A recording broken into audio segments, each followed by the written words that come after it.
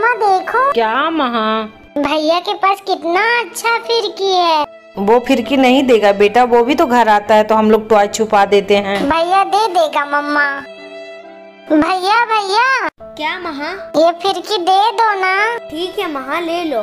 तुम्हारे पास तो एक ही है ना तुम किससे खेलोगे भैया? कोई बात नहीं महा पापा से कह दूँगा वो दूसरा बना देंगे। तुम खेलो।